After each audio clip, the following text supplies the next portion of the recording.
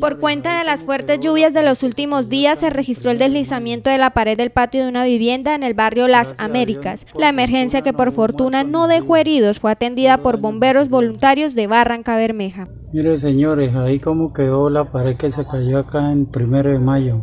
Gracias a Dios, por fortuna, no hubo muertos ni heridos, solo daños materiales.